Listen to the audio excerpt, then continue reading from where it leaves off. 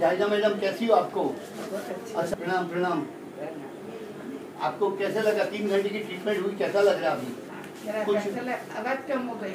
अरे वाह तमरा बंद हो गया होगा। अच्छा, आधा हो गया अच्छा लगता है। में अच्छा।